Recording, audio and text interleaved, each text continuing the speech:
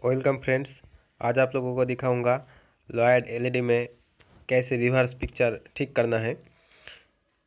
आप देख पा रहे हैं, ये जो लॉयड का एलईडी है, इसमें रिवर्स पिक्चर हो गया मदरबोर्ड चेंज करने के बाद। तो इस प्रॉब्लम को कैसे सॉल्व करना है इजीली वो आप लोगों को दिखाऊँगा।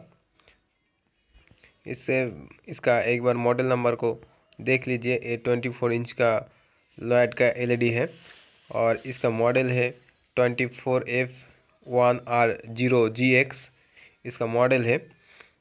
इस मॉडल में मदरबोर्ड चेंज करने पर इस प्रॉब्लम हो जाता है कभी कभी तो फ्रेंड्स, सबसे पहले हम इसका फैक्ट्री सेटिंग्स ओपन करेंगे।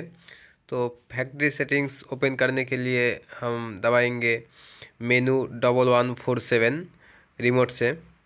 जैसे आप menu double one four seven दबाएँगे। आपके सामने एक सर्विस लिस्ट आ जाएगा। देखिए इस तरह। तो इसमें जो सेवन नंबर में एक ऑप्शन है पैनल सेटिंग, उसमें जाएँगे और जाके ओके करेंगे, ठीक है? ओके करने से आपका सामने पैनल सेटिंग जो है, वो ओपन हो जाएगा। और पैनल सेटिंग ओपन होने के बाद आपका लास्ट में एक ऑप्शन है मिरर। देखिए वो ऑन है, उसको जाके ऑफ़ कर दीजिए। अगर आपका सेट में ऑफ़ है तो उसको ऑन कर दीजिए। ठीक है? तो फ्रेंड्स और कुछ नहीं करना है आप लोगों को। सिर्फ़ रिमोट से एग्ज़िट बटन को प्रेस करके सर्विस मेनू को क्लोज कर देना है आपको। ठीक है? और एक बार देख लीजिए। जो ओएसडी है, वो ठीक ठाक है कि नहीं? जैसे ठीक ठाक आ जाएगा, आप एक बार सेट को रिस्टार्ट कर लीजिए। रिस्टार्ट करके एक बार देख लीजिए। का जो सेटिंग्स है वो ठीक ठाक है कि नहीं?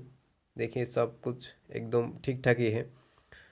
तो फ्रेंड्स, ये वीडियो कैसे लगा आप कमेंट करके ज़रूर बताना और मेरे चैनल को एक बार सब्सक्राइब कर दीजिए अगर आप पहली बार आए हैं तो।